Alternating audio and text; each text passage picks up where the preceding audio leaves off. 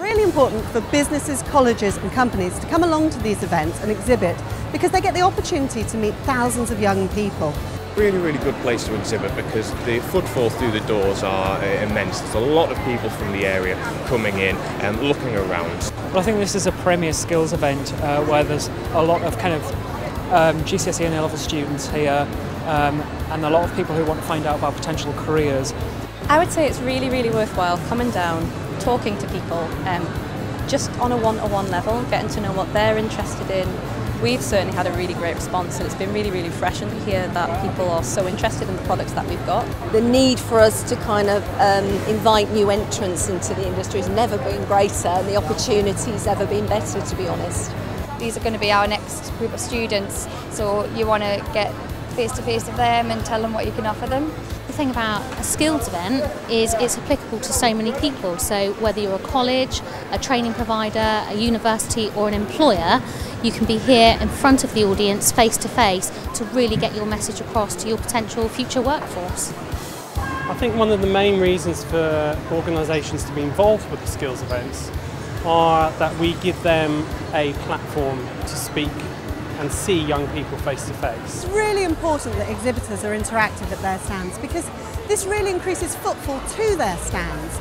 Students just like getting it, getting on and doing things and that's how they learn and we all learn better if we're doing things.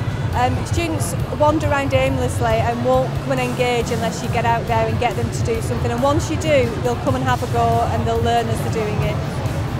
Got to try and be out there and kind of engage people to come in.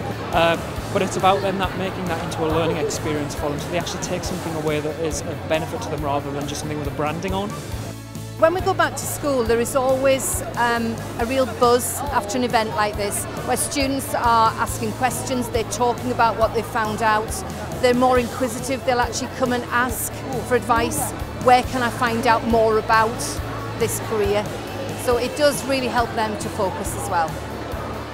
And meeting young people face to face is so important. I think it gives the young people the opportunity to ask questions and it gives the organisations the opportunity to really showcase what they're about.